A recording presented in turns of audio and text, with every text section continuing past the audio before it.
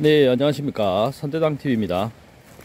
아, 이제 송리산에도 가을 단풍이 들고 있습니다.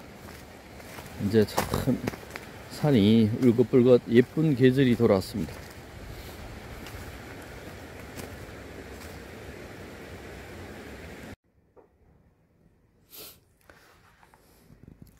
네. 2022년도, 어, 이제 마지막 생능입니다. 생능이 방금 저온 창고에서 이제 꺼내서 지금 어, 주문 들어왔는 거 포장을 하려고 꺼냈습니다.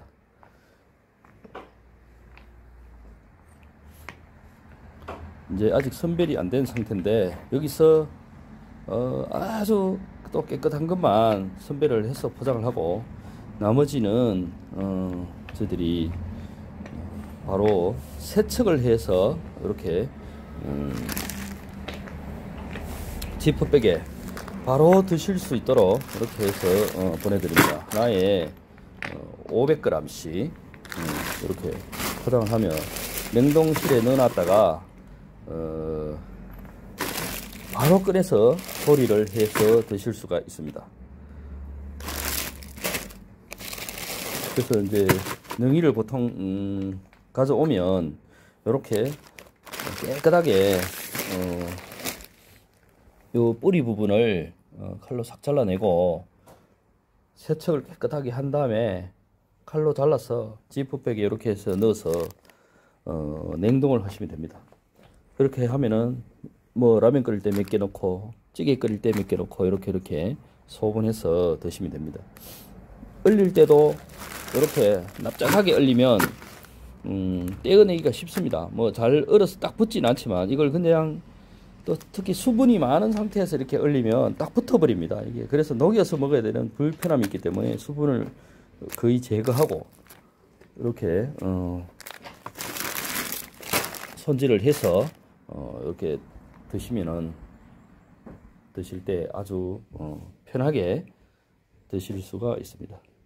지금 거의 어, 저온 창고에서 약 한 20일 정도 있었던 능이들입니다. 어, 요거는 초특급 에이스 A급입니다. 그래서 한번 그 밑둥치를 보면 다 아주 살아 있습니다. 하나도 썩은 게 없습니다.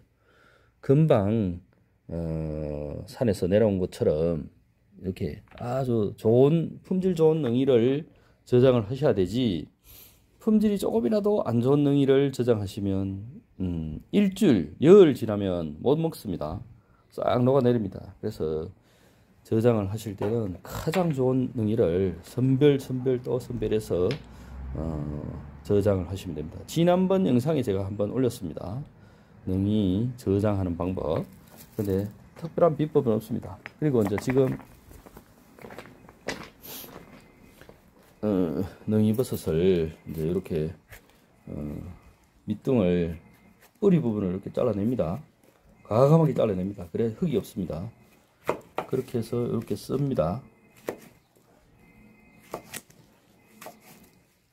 한 입 먹을 만큼 길게 썰어서 어 이제 이렇게 했다가 요걸 한번 또 모래나 마사 같은 게 있을 수 있기 때문에 딱 씹었을 때 그 느낌이 좀 불쾌하겠죠. 그래서 흐르는 물에 깨끗이 씻어서 물기를 쫙 뺀 다음에 지퍼백 포장을 합니다. 밑둥은 뿌리 부분은 이렇게 썰어냅니다. 너무 어, 조금만 긁어내면 모래가 씹힐 수 있기 때문에 조금 뿌리 부분만은 가감하게 어, 잘라낼 필요가 있습니다. 아니면 모래가 씹히고 마사가 씹히는 경우가 흔합니다. 기분이 별로 썩 안 좋죠.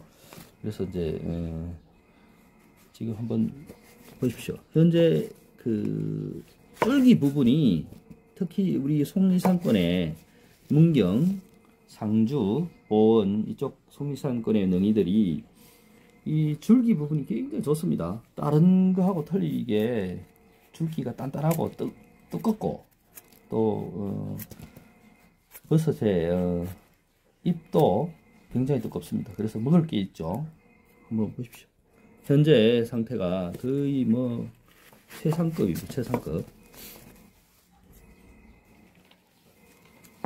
자, 이제 한번 요게 요게 예시인데 자, 여기 한번 보십시오. 조금이라도 늙은 능이가 들어가면 요 밑둥치가 이렇게 이제 벌레를 먹습니다. 그래서 이제 식감도 떨어지고 하기 때문에 어, 최대한 최상급을 해도 이런 게 간혹 섞입니다. 근데 이제 이게 나이가 들면 여기 한 3분의 2까지 이렇게 벌레가 먹습니다. 그래서 이제 식감도 떨어지고 품질도 떨어집니다. 근데 지금의 어, 이 상, 보관했는 이 냉들은 굉장히 어, 상태 좋습니다. 이게 한번 보십시오. 방금 썰었는데 뭐 거의 뭐 퍼펙트합니다. 이 정도면. 그래서 여러분들이 어, 좋은 능이를 고르시는 방법입니다. 딱 썰어보면 어, 대가 이렇게 쌩쌩하면 아주 좋은 능이라고 생각하시면 됩니다.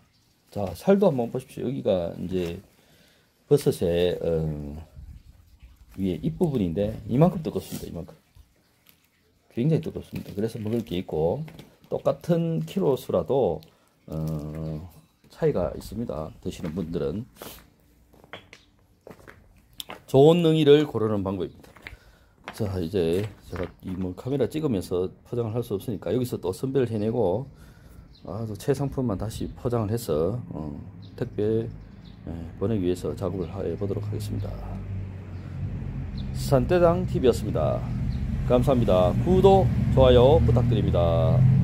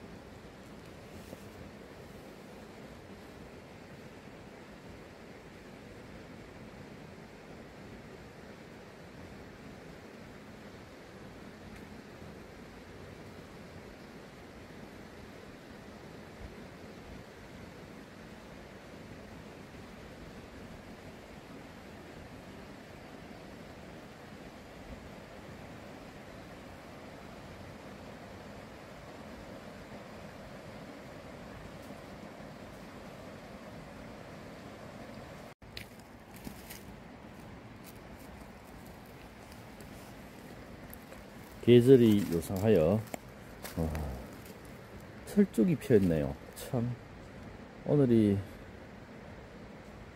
10월 23일인데 참 정말 미쳤습니다. 어, 철쭉이 기온이 너무 따뜻하니까 피었나 봅니다.